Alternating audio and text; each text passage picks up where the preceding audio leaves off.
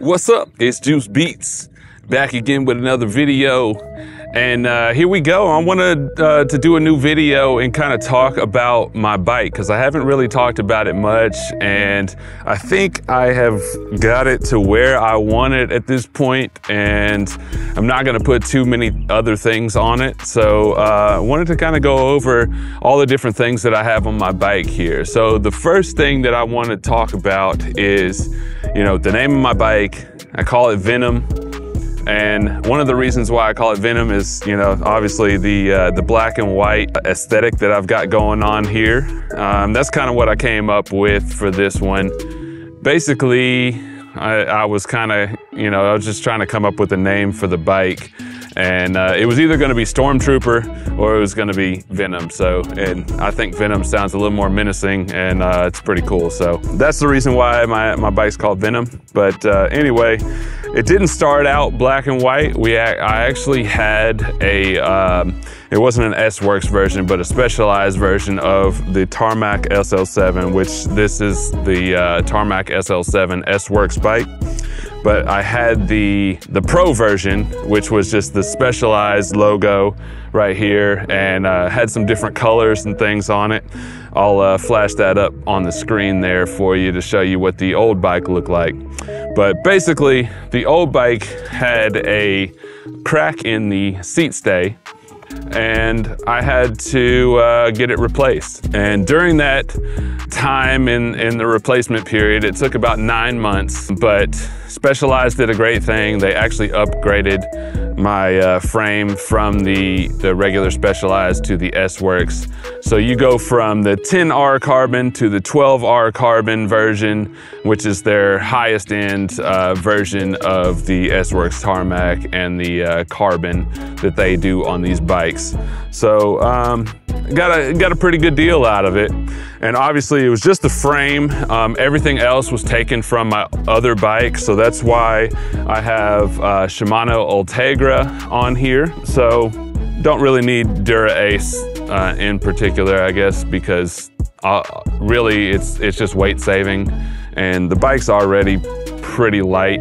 Um, I want to say that the bike is about 16 pounds last time I, I weighed it, but obviously I've changed a few things since then, so it may be less, it may be a little bit more, but um, I'm going with 16 pounds because I don't have a, a, uh, a, scale that I can uh, weigh the bike at the moment. But uh, let's go over a few more things on the bike here. So the first thing here is my Prologo uh, saddle. It's the uh, Scratch and it's the Nack version, so it is the carbon rails, and I really like it. Uh, I had the, the the normal S-Works or the uh, the normal specialized saddle that came with the bike early on, and I didn't really like it very much. I felt like it was a little wide for me. Um, obviously, I guess the it was shorter too, but um, I guess the short part didn't really bother me as much, but I really, I wanted something a little bit thinner so that when I'm racing or when I'm riding, I wasn't feeling that um, on the sides of my thighs. And I was kind of feeling that on the other on the other seat. So that's why I ended up switching to this one. It's a little bit more narrow and I'm able to put out a lot of power through this one. Um, so I really enjoy this one. I really like this one. It's got a nice little cutout channel as well. And so, um, you know, that relieves some pressure on the perineum. And so I really like this saddle there. The next thing I want to talk about, uh, so the handlebars, these are the old Aerofly S-Works handlebars. I think now they've switched over to uh, some Roval brand. But uh, so these were the original ones that came with the tarmac, I think back in 2020, 2021 maybe. Um, I'm not sure of the dates on that, but so those were the original. And, um, you know, they are 44s, which at this point I think maybe a little bit too wide, so that may be something that I change in the future. But right now, um, I do have wide shoulders, so um, I'm rocking the 44 centimeters on this one, and um, you know, eventually I may go down to 40 centimeters so that I get a little bit more narrow. It'll help me out with uh, being a little bit more aero on the bike as well. And then let's see, let's talk about, so the wheels here, these are the Drive 50Ds. and these are by Elite Wheels. I love these wheels. I did a whole lot of research before I went and, and bought these. I was looking at all sorts of wheels all over the place. Um, I looked at the Rovals, I looked at uh, Winspace, I looked at Hunt, I, you know, all these different brands um, just to figure out which ones I like the best. And these got some great reviews. Some people on, on YouTube talked about how, how much they liked them as well. And um, I really liked that they were very light but very stiff as well. They come with ceramic bearings and um, I've just, I've, I've really enjoyed them. Coming from a, an aluminum pair that was, you know, built just for the bike that it originally came with, these things are like light years away uh, or ahead of those. Obviously, they are really light. So I think I went from, the, with the original bike, over 17 and a half pounds or something like that, almost close to 18 uh, probably. And with these wheels, that's what dropped it down into the 16 pound range. So uh, definitely very light, very stiff. Um, I like the 50 millimeter depth. That gives me a good balance between aero um, on the flats and it helps out, I think, on the uh, climbs and stuff for me. Obviously, I'm not really a climber. I'm more of a, a sprinter, fast twitch type muscle guy. Uh, so climbs and me don't really mix that well, but it does help when I'm on group rides or if I am doing climbs, um, it helps me get up those climbs a little bit easier with these wheels. Um, so I really do enjoy those wheels a lot. As far as uh, everything else on the bike, so um, a lot of this is, is really just aesthetics. So I, I went with the white bar tape, obviously to uh, match kind of the theme of the Venom.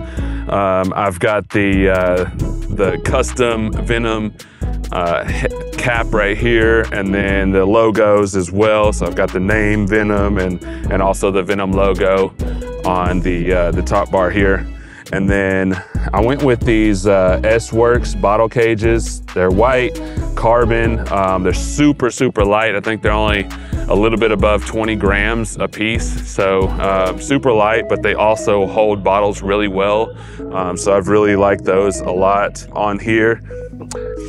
This is the Absolute Black chain rings, and I went with a 5339 on those, um, which is uh, standard. Uh, usually, you know, you go for the uh, the compact.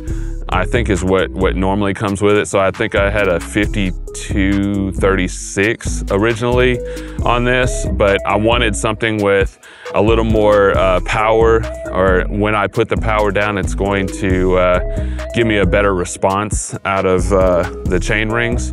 So that's why I bumped up to these 5339s. And uh, I noticed an immediate difference with these as well. So uh, as soon as I got them put on and, and started to uh, pedal, I noticed the engagement was a lot quicker than it was with the 5236. So that's why I went with these and I haven't looked back. So uh, I really like that. In the back, I think I just have a, a normal 1130 cassette there and, and that's what came with the bike originally, 1130. Um, I haven't upgraded obviously because I'm not doing super uh, super tough hills or anything like that right now. So there's really no need for me to go from 1130 to like 1132 or 1134 or anything like that.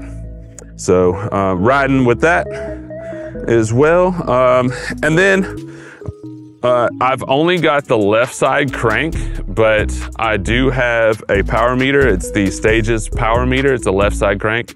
My cranks are 175 millimeters. Um, so that's usually standard, I think, for the bike size, which is a 58. Um, a lot of bikes come with uh, 172.5 millimeters, and then um, the other the other sizes are usually uh, something that you swap out. But uh, 175 is what comes with the uh, the 58, and that's what size bike I ride. I, I don't know any other power meters or anything like that to compare that to. So what I get on here is is what what I uh, I say in, a lot of my other videos or, or, what I see in my other videos where you can see my power. That's what I'm getting my power from is the Stages power meter there. So I actually just switched out my stem here and I went from the standard 110 millimeters to 120 and basically what that does is it gives me a little bit more stretch in the front. So when I'm leaning in in races and trying to get low and trying to get aero, I'm getting just a little bit extra lean in the front. And you know, I wouldn't recommend doing this unless you've had a bike fit. And, and I recently did have a bike fit and uh, hopefully I can get that video out for you soon. I'm still trying to put it together and, and, and piece it. But so with my bike fit, I was able to, to get everything dialed in really well. And we actually did it on, a, on the 110 stem, but my backup bike is 120. And I do feel like I'm better stretched out on the 120. So that's why I went ahead and switched this one out. And ridden around on it a few times already. This is very, very recent, so I'm still getting used to it, but um, it feels really good uh, for me now. Like I'm able to get a little bit lower and stretch out just a little bit further on that. And, uh, you know, hopefully my bike fitter doesn't uh, get on me for switching that out.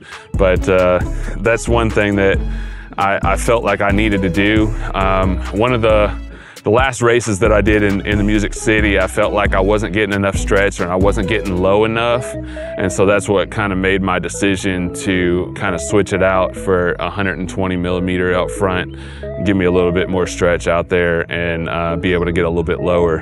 So we're gonna try that out for a little while. Um, if I need to, I can go back. Obviously, I've got everything dialed in and, and, and marked. So if I do need to go back, I can. But right now, I'm gonna try this out and see how it feels. Like I said, this is a, a 58 size frame. This is the S-Works Tarmac SL7. And um, you can't buy this frame, this particular frame in the stores because it's a warranty frame. This is what they send out when you do a warranty replacement.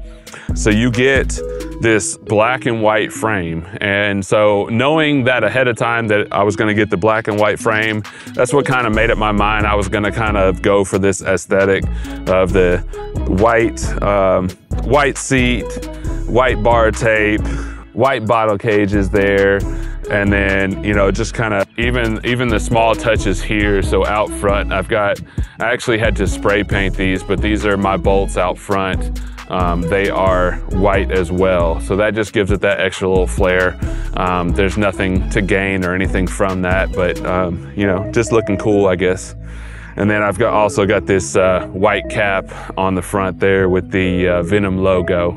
So that goes with the rest of the aesthetic there. One thing I wanted to say uh, as well is, you know, this is a wax chain. So I do wax my chains and I feel like obviously it keeps everything cleaner on the bike but um, I really feel like there's uh, some gain to it as well. And I may do a video later on. Let me know in the comments if you want me to do a video on uh, waxing my chain, but definitely a game changer as far as speed. Like I feel like it, it's definitely smoother. Um, I don't I don't feel like I'm, I'm pedaling in sludge or anything like that. So definitely a game changer with the uh, wax chains. And I can talk about that in another video if you'd like. But uh, yeah, you know, that's my bike. And, uh, you know, if you have any questions or anything, leave them down there in the comments. I'll try to answer as much as possible about that. But uh, this is my uh, speed machine. If you like this video, please like and subscribe